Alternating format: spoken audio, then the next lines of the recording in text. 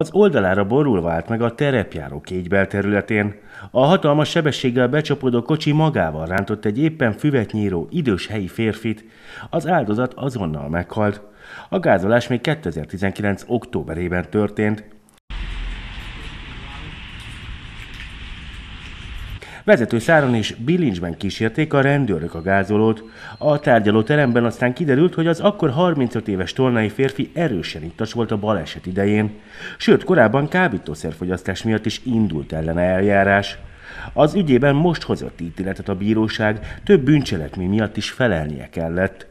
A Bonyhádi Járásbíróság ítéletet hirdetett a kéki gázolóként elhíresült büntetőügyben. Az ítéletben bűnösnek mondta ki a vádlottat, halált okozó ittas állapotban elkövetett járművezetés büntettében, csalás büntettének kísérletében, hamis magánokirat felhasználásának védségében és kábítószer birtoklásának védségében is. Ezért a bíróság halmazati büntetést alkalmazott a vádlottal szemben, 5 év 8 hónap végrehajtandó szabadságvesztésre ítélte, Emellett hat évre a jogosítványát is bevonták a halálos balesetet okozó sofőrnek.